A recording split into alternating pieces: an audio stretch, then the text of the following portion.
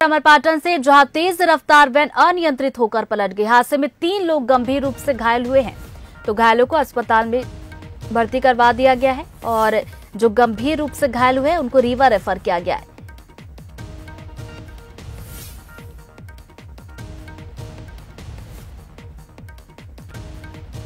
तो अमरपाटन से ये बड़ी खबर।